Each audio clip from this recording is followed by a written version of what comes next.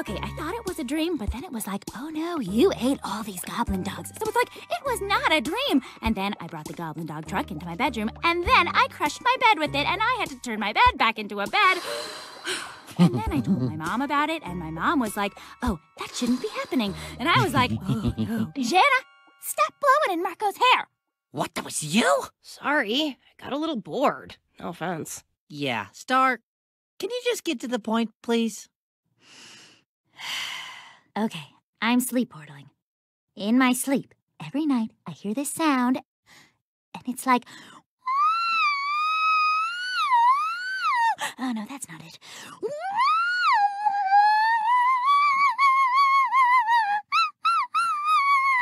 Okay, Star, we get it. Can we just get to the point, please? I've been following this sound to the same location every night, but I never make it there because I wake up. And that's where you come in, Janna. You gotta hypnotize me so I can stay asleep. What? Hypnotize you? Star, shouldn't you leave that to a trained professional? You doubt my skills. Yeah, actually, I do. Chicken butt. What the heck? What happened? You guys stop messing around and get over here. Hey, check it out! I linked my compact phone to my mirror, so you'll be able to see whatever I see. Marco, you've got the scissors. If anything goes wrong out there, you come get me. You're my lifeline. What if you get lost?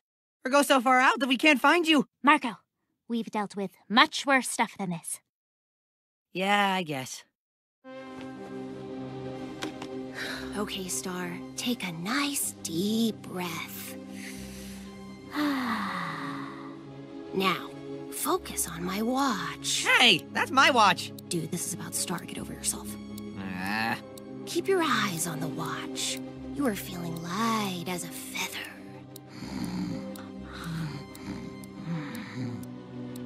now we wait. So what exactly does it look like when she portals? Kinda like that.